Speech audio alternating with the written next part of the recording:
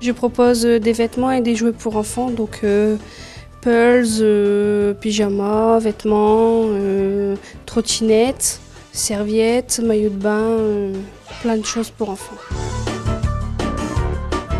Monster High, Violetta, Mickey, Princesse, Winnie,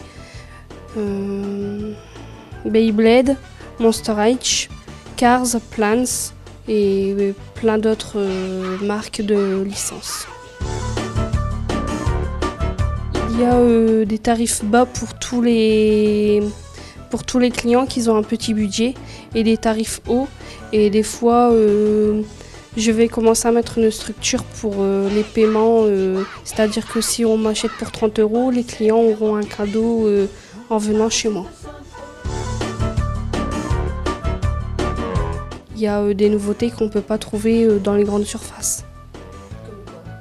Comme des serviettes, vous allez trouver certaines serviettes, mais euh, des nouveautés, mais pas toutes.